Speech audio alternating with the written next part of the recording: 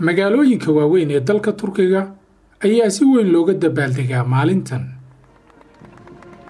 Qaybaha kala duwan ee ciidamada dalka turkiga sida milatariga booliska iyo ciidamada khaaska ayaa gaadaka ciyaar ku mariyey fagaaraha kislay ee magaalada ankara. Madaxweynaha soomaaliya maxamed cabdulaahi farmaajo ayaa hambalyo ku aadan munaasibadda sagaashan iyo siddeed guurada maalinta qaran ee aasaaska jamhuuriyadda dalka turkiga u diray madaxweyne rajab dayib erdogan dowladda iyo shacabka turkiga isagoo u rajeeyey nabad xasilooni iyo horumar waara. Kumanaan ka mida bulshada ayaa u soo daawasho tegay munaasibaddan waxaa sidoo kale halkan marayay ciidamada fardaha iyo hay'adaha kala duwan ee dalka turkiga ardayda ajaanibta ee halkan wax ka barta oo soomaalidu ay ka mid tahay ayaa ka mid ahaa dadkii fagaarahan socodka ku maray. Dal walba dadkiisa ayaa dhisa. Waa kelmad ay soomaalidu caan ku tahay balse aanu ku dhaqankeedu ka muuqan dalkooda hooyo. Waxaa dadka turkida ah lagu sifeeyaa kuwo wadaniyiin ah iyagoo dad badan ay ku baraarugeen markii ay dalkooda ka badbaadiyeen inqilaabkii laba kun iyo lix iyo toban iyadoo xilligaasi ay shacabku hor seexdeen dabaabaadka ciidamada. Cumar oo ka mid ahaa dadkii isagu ka qayb galay munaasibaddan ayaa nala hadlay. Bismillahi raxmaan raxiim anigoo ah cumar maxamed boqor muuse. Maanta waxaan kala qayb qaatay jamhuuriyadda turkiga xilligii laga badbaadiyey kala googo'a maasha allah waxaa halkan marayay ciidamo.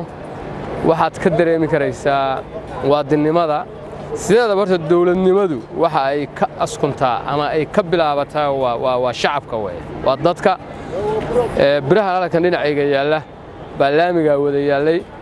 Maanta qof bini'aadanah gaari iska daaya qof bini'aadanihi dhinacaan qof joogaa dhinaca kale uma tallaabi karin. Waxaa la sugayay ciidamadaas inta ay gudbayaan oo ay marayaan maasha allah tabaaraka allah waxaa ku jiray hablo soomaaliyeed. Dowlad walba ardayda ka joogta ama dad ka jooga waxay helayeen fursad ay ku muujiyaan in iyagoo calankooda wata.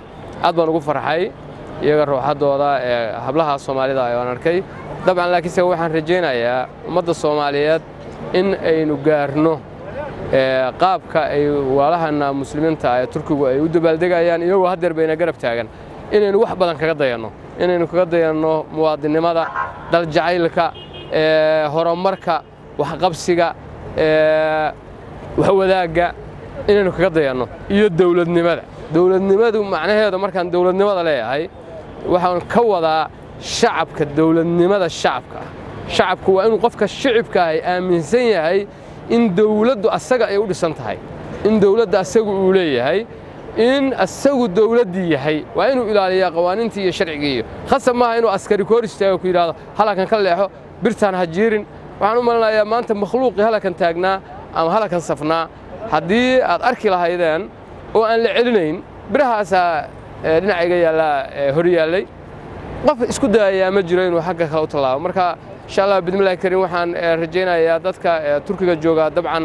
Wax badan bay ka qaadan doonaan laakiin walaalaha soomaaliyeed waxaan rajaynayaa inay kaga daydaaneen wax badan oo dadkaanu ay leeyihiin oo ay ugu horrayso daljacaylka iyo muwaadinnimadu